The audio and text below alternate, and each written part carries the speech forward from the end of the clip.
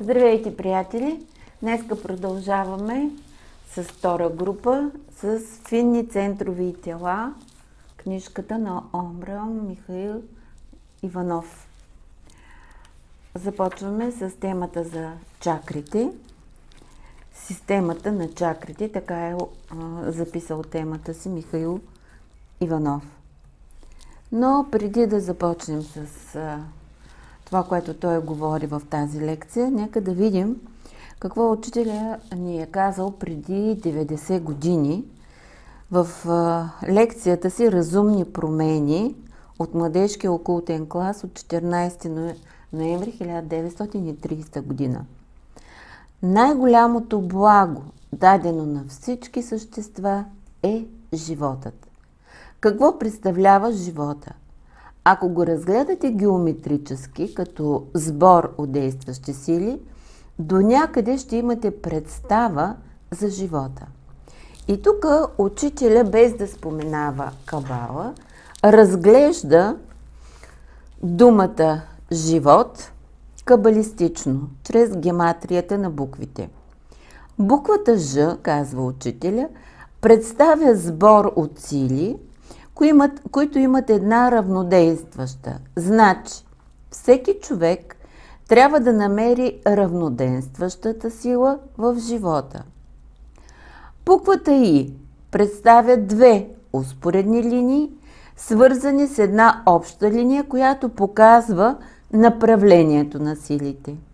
Буквата В показва, че семето е посято. Значи, Силите на живота трябва да се посеят в земята.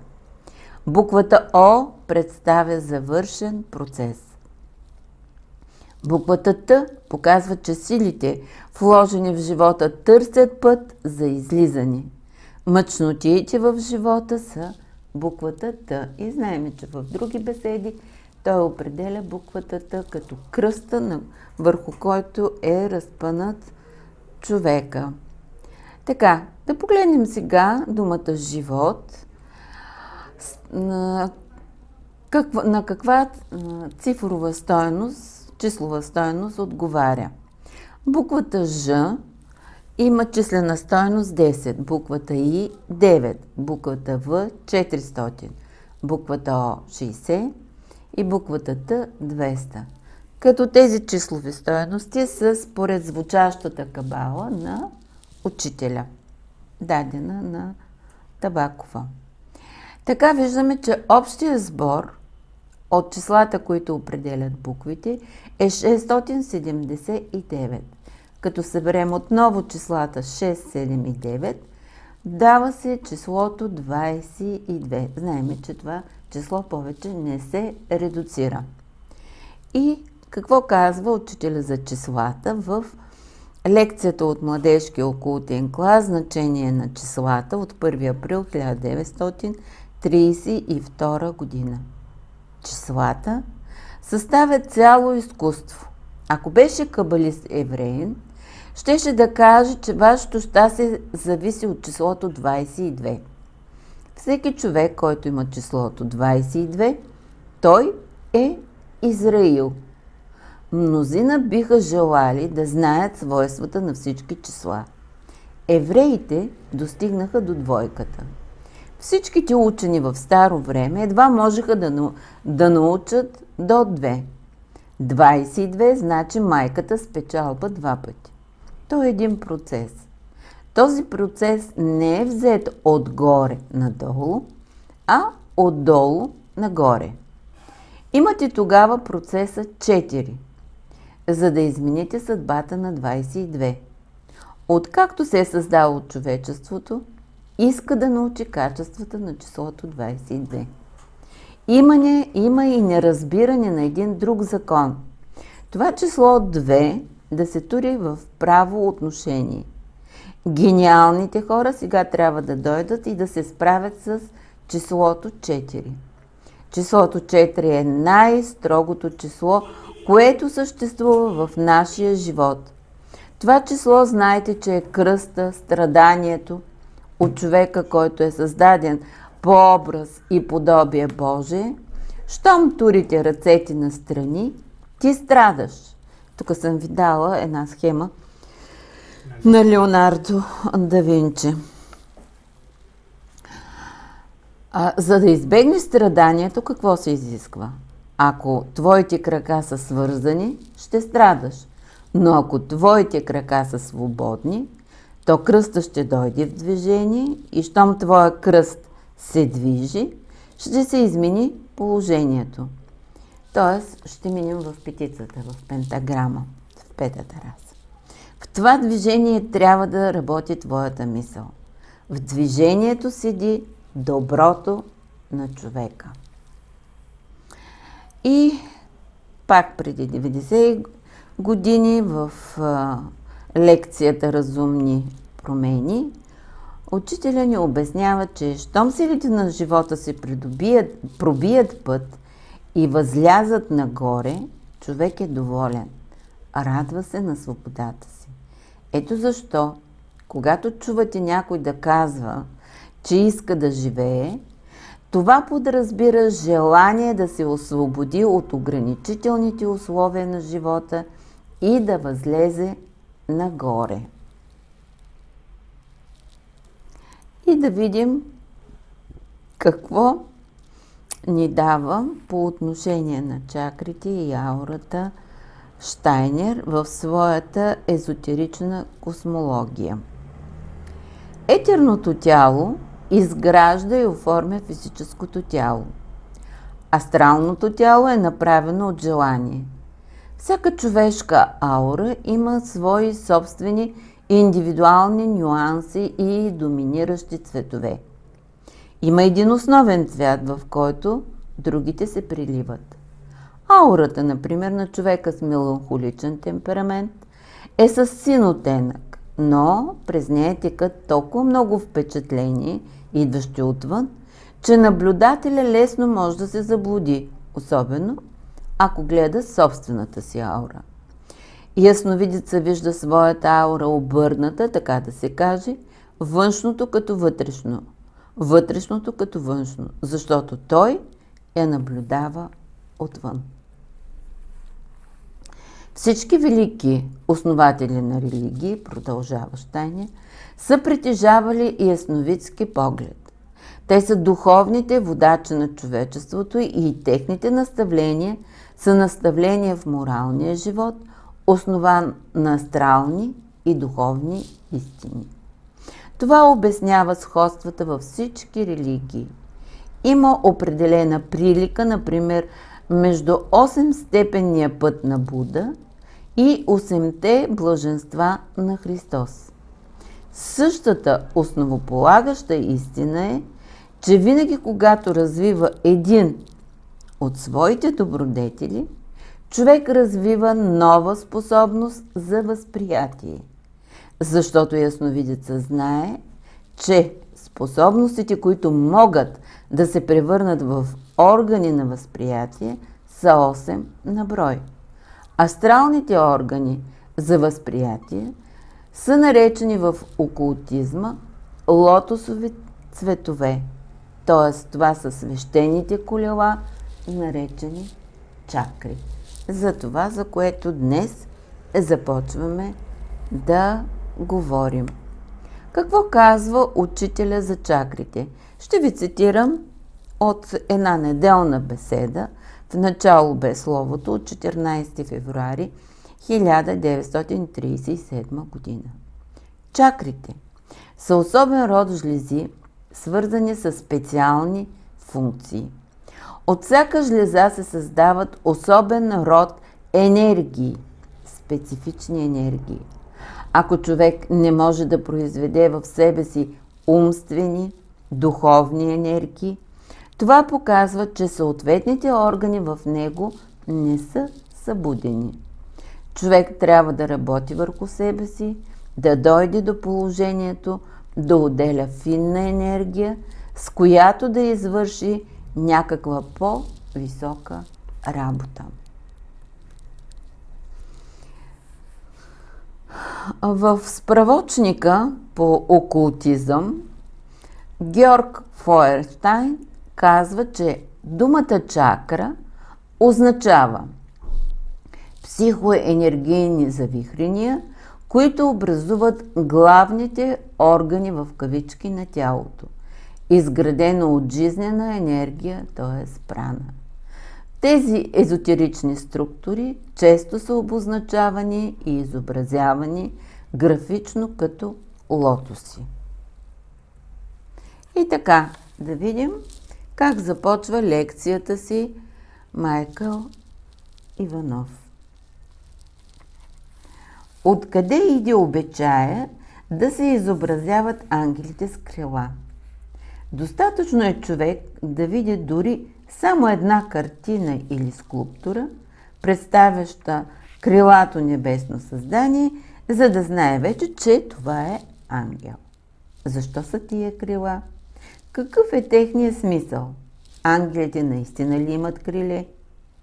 Не, но по този начин на изобразяване на ангелите произхожда от една много древна наука, имаща отношение към човешкото същество и неговите финни центрови.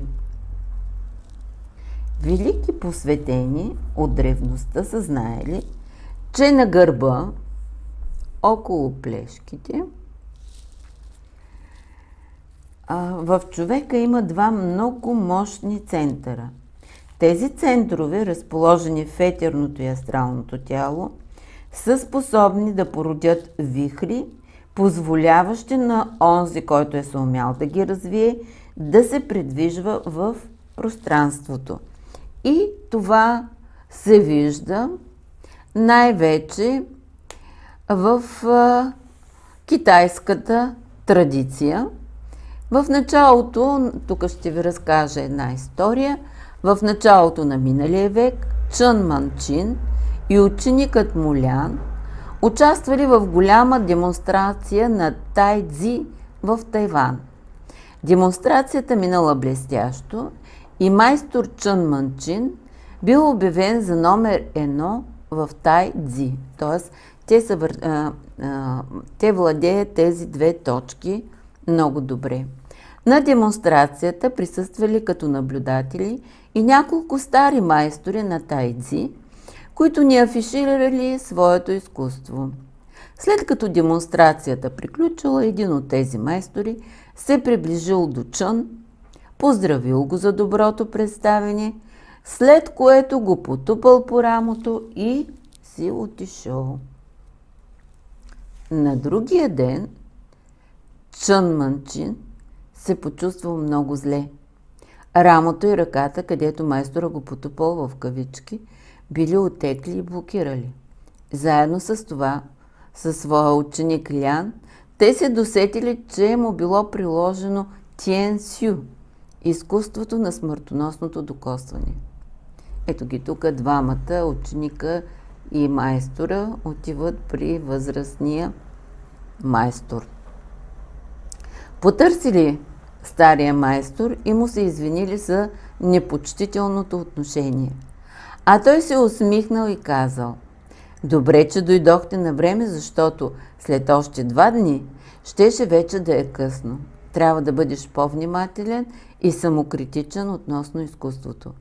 Ти не само не си номер едно в тайци, но не си и номер сто. След това майстора го излекувал чрез точков масаж, анмо и втриване на билкови балсами. Дадах ви този пример, за да се види, че тези точки наистина се разработват от определени школи и чрез тях човек може да постига както големи успехи в а, изкуството на тайци, така обаче може и да бъдат блокирани тези точки и да доведат до нежелателни резултати. Да продължим с Михаил. В древногръцките предания Бог Хермес е описан с крила, само че на петите. Ето тук съм ви дала една ваза. Защото в петата също има един много важен център, който също е свързан с силата да се движим из пространството. В действителност тези финни центрове в нашето тяло са много наброй. Например, когато съзерцавате изгряващото слънце, попивате в себе си светлината му посредством един център, разположен над далака. Слънцето ни изпраща своята енергия, която пристига при нас, при нас под формата на съвсем малки светлинни сферички. И така, този център поглъща слънчевата светлина и я разлага на 7 цвята, също като онези получени при преминаването и през кристална призма. После той изпраща тези 7 лъча в организма и ги разпределя последния начин. Червения и оранжевия към половите органи – жълтия към сърцето и белите дробове, зеления към стомаха, черния дроб, червата и бъбреците, синия към гърлото и носа, виолетовия към главата. Червения лъч може също така да укрепи нервната система. У човек с изтощени нерви има недостиг на червения цвят и следователно той може да подобри състоянието си, като се съсредоточи, върху този цвят. Физиологичната функция, тук съм ви дала схемичка, за да се види къде се намира далака в ляво и какво представлява далака. Физиологичната функция на далака е, както знаете, да образува червени кръвни телца. Нищо чудно тогава, че етерният център – на жизнеността е разположен точно над далака. За да уловите тези живителни сферички, идващи от Слънцето, трябва сутрин да мислите за този център, за да го оживите, да го направите по-възприемчив и по този начин да черпите по-изобилно от слънчевата светлина, за да подобрите здравето и жизнената си сила.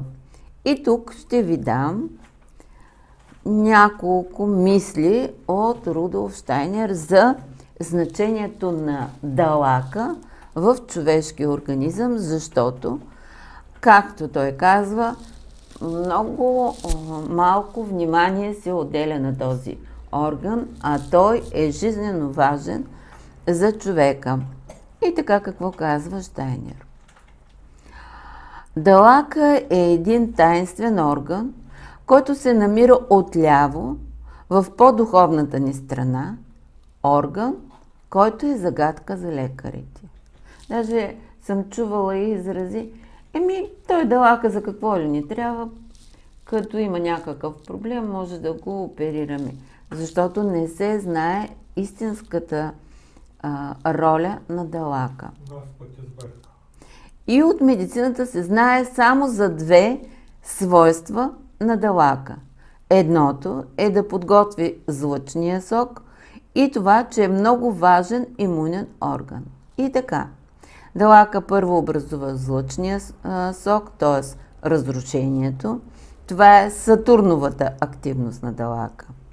Далака в ембриологията образува кръвта, т.е.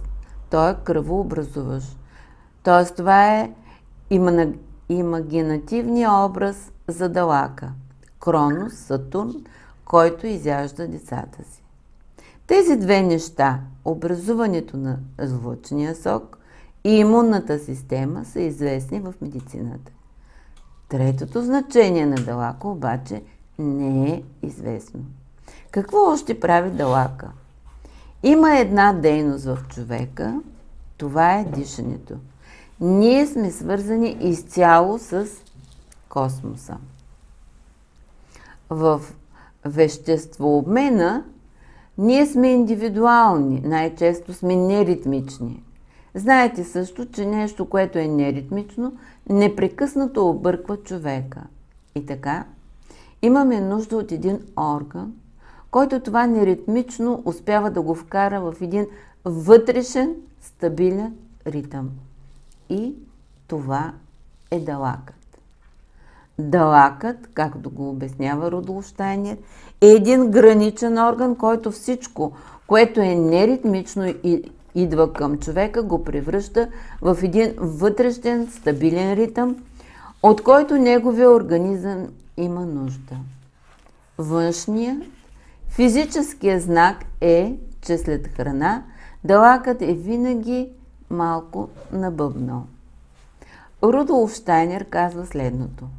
Особено в детска възраст, когато децата се хранят неритмично, както в повечето случаи днес, той дори използва израза, че далака им се изнервя и не може да поддържа ритъма на органите стабилно. Последицата от това е, тъй като далакът, злъчката и черния дроб са едно цяло, бихме могли да получим при това положение увреждане на храносмилането и вещество обмена.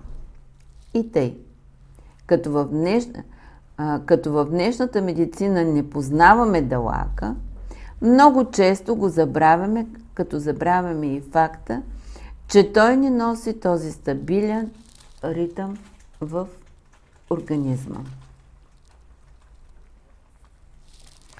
Да продължим с Омра Михаил Иванов. Посредством наблюдение и дисекция, с помощта на все по-усъвършенствана апаратура, анатомите работили усърдно векове наред върху изучаването на човешкото тяло, са стигнали до едно много подробно познаване на физическата му структура, ала те далеч още не са открили онова, което посветените – благодарение на своето ясно виждане и на духовния си опит са разкли, разкрили за фината анатомия на човека. А едно от най-впечатляващите открития е това, до което са стигнали посветените в Индия. Това е системата от седем чакри. Вече няколко хилядолетия те проповядват, че отвъд своето физическо тяло – в етерното и астралното си тяло човек има финни центрове, разположени по уста на гръбначния стълб. Тези центрове са наречени от тях чакри. Чакра на санскрит, със санскрит означава колело или още лотос. Не случайно е българската дума чакрък. Понеже знаете, че в български язик – в стария български язик влизат много санскритски думи. И така, отдолу нагоре тези чакри са следните. В основата на гръбнака се намира чакрата Муладхара. Ето я. Тя представлява лотос с 4 венчилищчета. Така се и рисува. Над половите органи се намира чакрата Сватхистана, която е с 6 венчи листчета. 6 листен лотос. В областта на пъпа се намира чакрата Манипура, която представлява лотос вече с 10 венчилищчета. В гръдната част се намира чакрата Анахата, ето я, която има 12 лист, ли, листчета или 12 листен лотос. Отпред на гърлото, ето и се намира чакрата, добре, няма да покажа, Вишудха лотос с 16 венчелищчета. Между веждите се намира аджна, лотос с две големи венчелищчета, като всяко от тях е разделено на 48 листенца, т.е. общо 96 венчелищчета. На върха на главата се намира Сахасрара, хилядолистния лотос. В действителност, листенцата, които са във външния кръг, са 960, плюс един венец вътрешен от 12 листенца в средата, което а, прави общо 972. 96 и 12 прави 108. 960 О, 900, извинявай. плюс 12 е 972.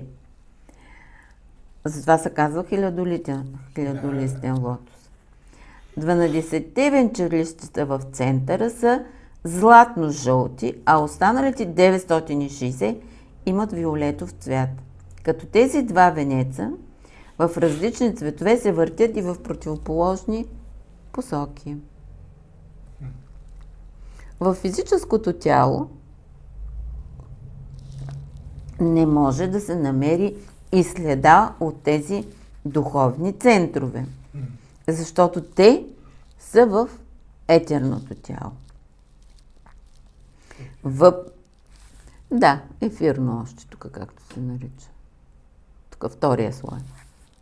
Над физическото тяло. Въпреки това обаче, органите на нашето физическо тяло са подчинени на тяхното влияние.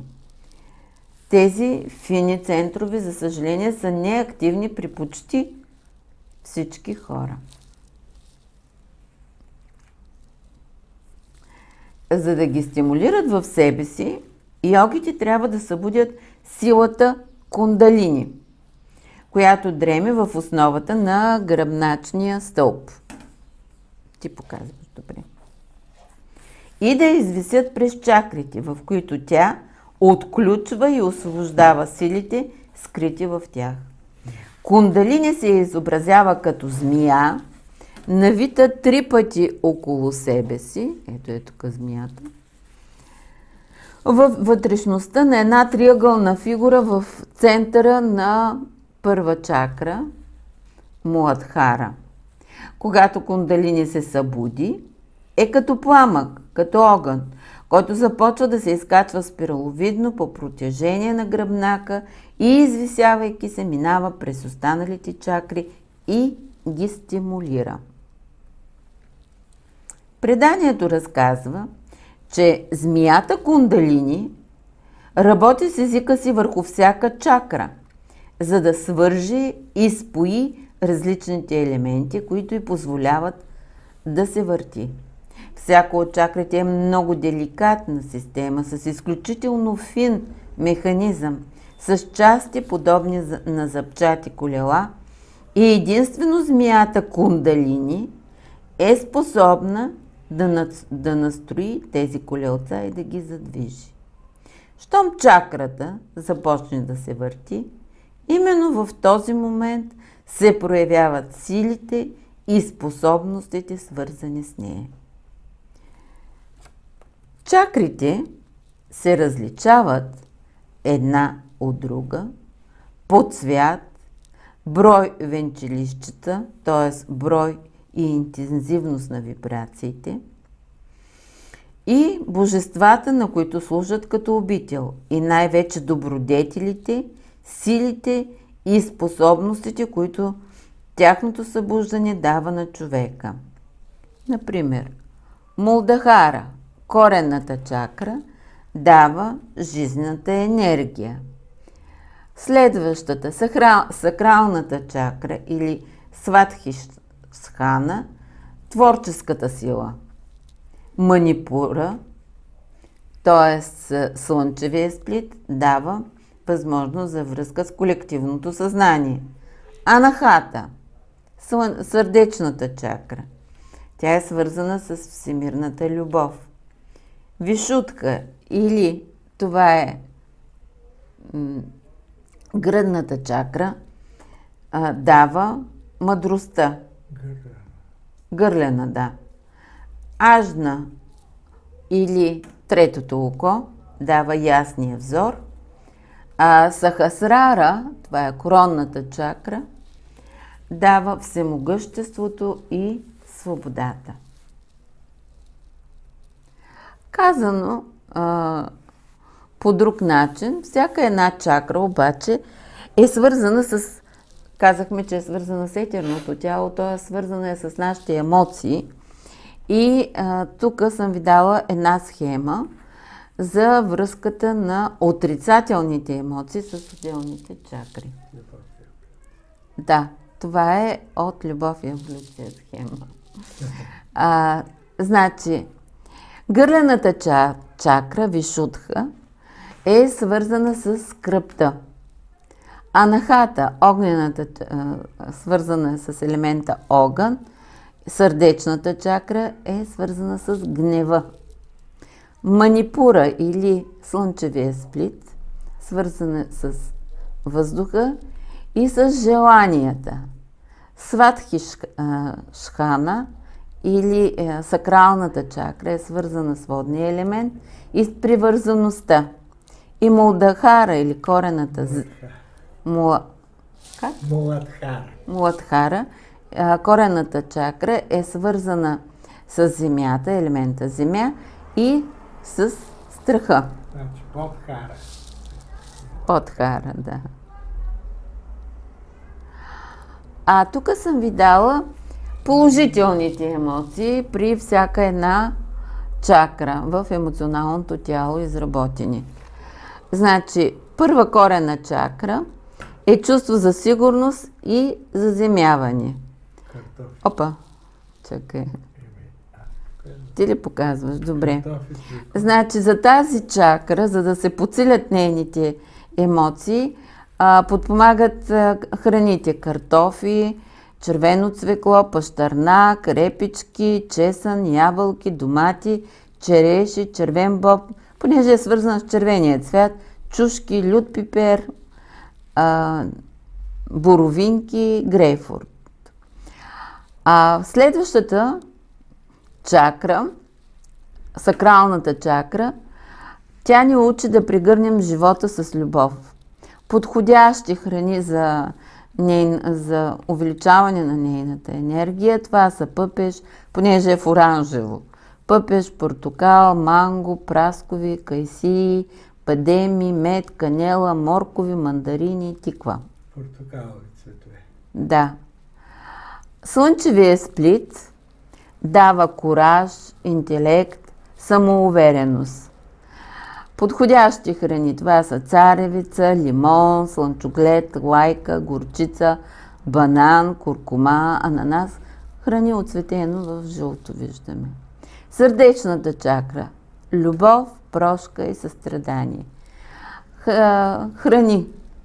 Броколи, зеле, спанак, маруля, аспержи, тиквички, зеле, мащърка, зелен чай, магданоз, грах. Всички оцветени в зелено храни. Копър, босилек.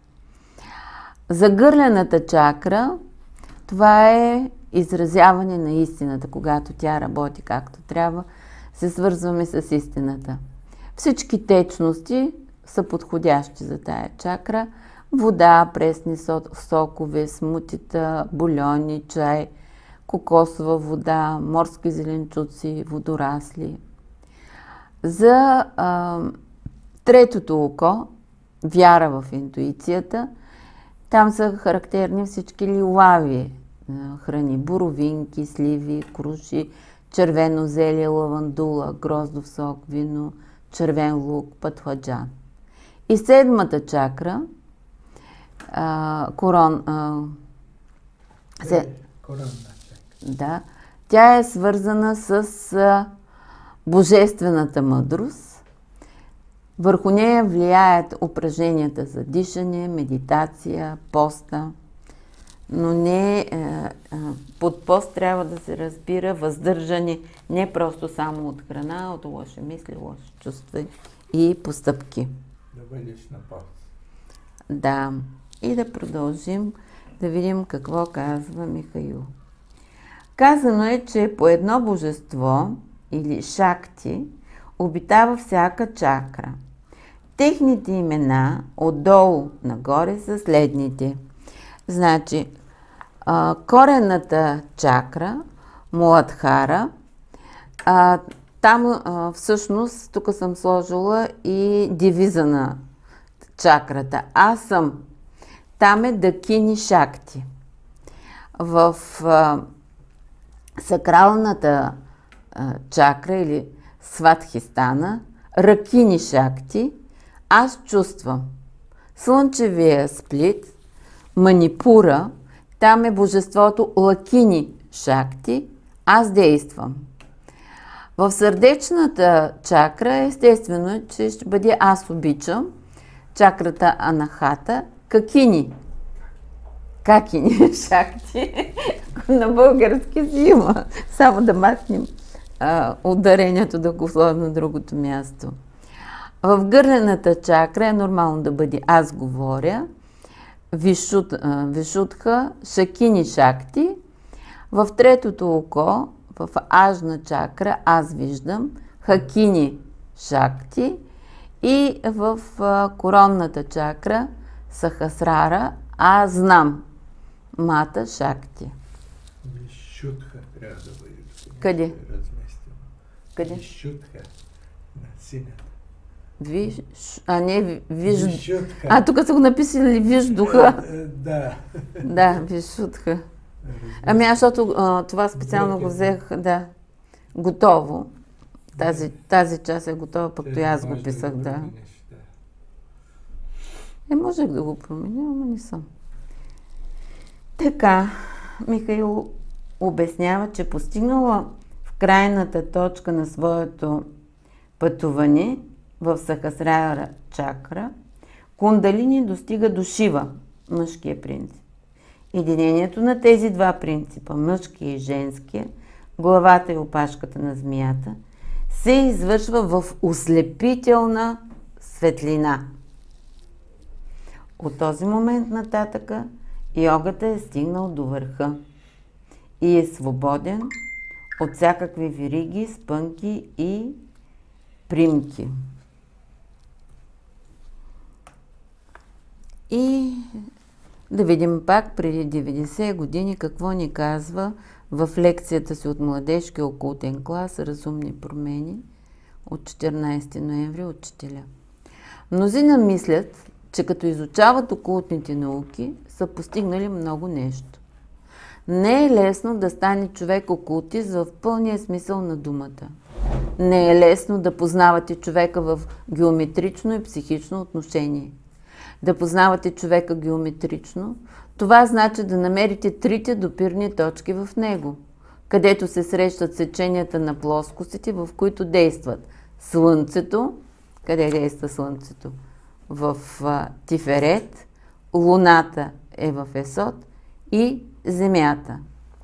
Формите и организирането им в човека се определят от влиянието на Слънцето върху него. Луната оказва влияние върху идеите и религията на човека.